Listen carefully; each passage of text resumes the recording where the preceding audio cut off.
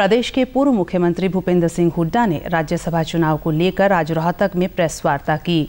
उन्होंने कहा कि राज्यसभा की दो में से एक सीट पर कांग्रेस पार्टी जीत हासिल करेगी।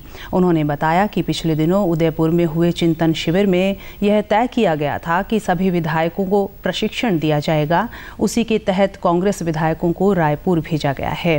भूपेंद्र सिंह हुड्डा ने कहा कि कांग्रेस उम्मीदवार अजय माकन सभी नब्बे विधायकों से निकाय चुनावों के लिए वोट की अपील कर चुके हैं। कांग्रेस का बनेगा इनका दूध है?